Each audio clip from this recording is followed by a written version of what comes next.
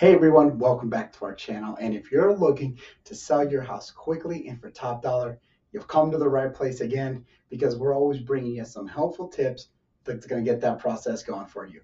And today we're dealing with some real, real big tips on a, a topic that's near and dear to me because I believe this is where you start and this is what can make or break the whole, uh, really the experience for you as you get going. And that is staging right? And so we're going to talk about the staging and the checklist that go along with it and some tips and, and, helpful hints today to help you whether you're looking to sell it fast, whether it's a one, two week turnaround, whether you're looking to sell it fast, maybe make some cash on the deal, or you're just going for top dollar. We're going to review all of that today. And so first, let's go ahead and get started and let's start with getting your house ready to sell. And so it's really essential that the first thing you do is come out with a checklist.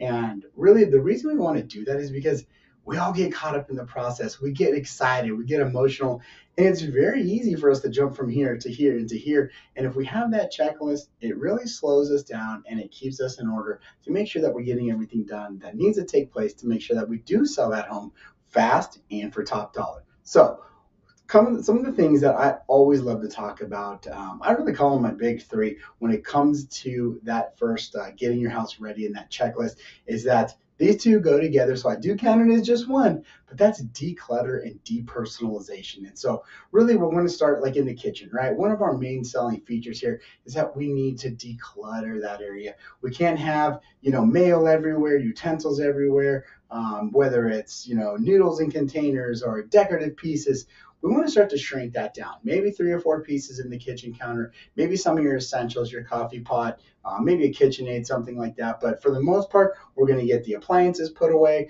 We're going to get all the stuff that's just taking up counter space out of the way because, well, honestly, nobody else needs to see it.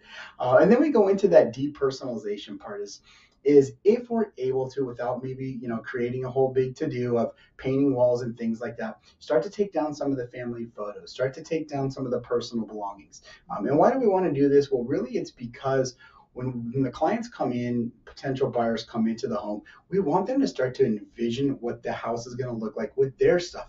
So the more they're looking around and seeing on the walls, you know, family photos or, um, you know, Spike's dog bowl or things like that, they're going to stop stop thinking about what their family and their home is going to look like because they're really just focused on what it currently looks like now. So that's why uh, decluttering and depersonalization is number one.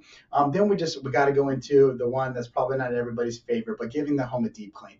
You know, we got to get somebody in there, whether you have the time to do it. If not, um, you know, getting a cleaning crew in, probably some of the best money spent because again, that first impression is everything. We don't want them walking into a place that looks like it's been run wild. And uh, you know it's very easy with day-to-day stuff. I got kids myself whether it's shoes all over or softball baseball dirt on the floors it's just worth the time and the effort and sometimes the money to bring somebody in to help get it cleaned up to make that good first impression.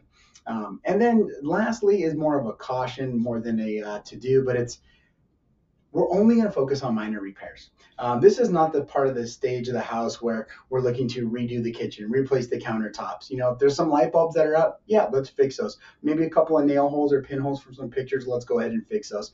If they're minor repairs, then we can be done in a few minutes or, you know, a day we can knock out a to-do list, then that's great. And that's ultimately what we're looking for in this stage. Um, remember, it's it, it's really we want the house to be a good first impression for when the potential buyers come in, and we want them to not have to focus on you know the small little things because they can overcome those. Um, we, we want them just to be able to walk in, feel warm, and keep everything moving from there and uh, really generate some buzz around the home. Okay, so now that we've got that out of the way, here comes what I think is really the fun part, and that's when we get into staging, right? And uh, the first topic of staging is, is a little bit maybe different, but the first thing is the curb appeal. We got to have good curb appeal. When the people come up to the when they come up to the driveway, they park, they're meeting their agent, whether they're coming in, is that we need to make sure that things like the lawn mowed, maybe the driveway is washed, the bushes, the hedges, um, things like that are just trimmed up. We don't want to have a lot of dead plants out there. We don't want them to look like the property's not been taken care of. If they start to see some of that stuff on the way in, they've already started to make up their mind on what the inside of that home is going to look like. So really, it starts on the outside and then we work our way in. And as we get into the inside, um, we really want to focus on more of neutral settings, right? Um, definitely not asking you to go repaint the house, but some of the furniture, maybe if it's a pretty bizarre color or really stand out because that's your style, love your style, probably works for you, but it's not going to be everybody's style. So we really want to focus on neutral decor, um, whether again it's stuff in the bedrooms, uh, in the office if you have one set up, or even the furniture. Just start to keep things neutral so that people can come in and kind of see how their stuff is going to play in that setting. Um, the other thing is we don't want them to walk into a dark home. So what I do when I get to all my properties is I make sure that you know the agents know if I'm showing the property, the lights are on, the blinds are open, get them get everything open so that we have a lot of natural light coming in so that people can get the full picture of really what that house is going to look like. Um, so really, though, those are kind of my top six broken into two different sections of the getting the house ready and then the staging part. Um, but just remember, these are crucial if you want to sell your home quick and even for top dollar. So um, hopefully some of these were were helpful to you, um, and uh, you know you can implement them either with your agent, with myself, or you can always reach out and we can talk through some more of them and make it more personalized to what you have going on. Um, and then you know then comes the tracking. How will we know if some of the staging stuff is starting to work? Well, you should be getting feedback from your agent. You should also be able to see what kind of foot traffic are you getting.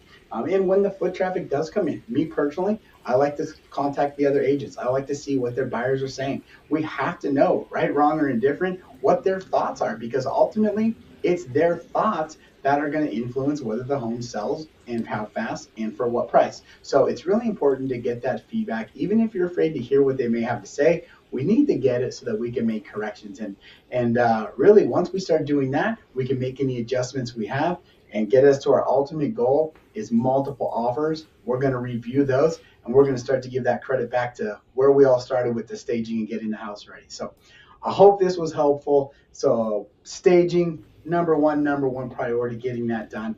Um, if so, drop a comment, drop a like, let us know. Um, if you got any other topics that you want us to cover, we probably got some other videos for them, but don't be afraid to list them below and we'll get you all taken care of. Till next time, thanks for watching.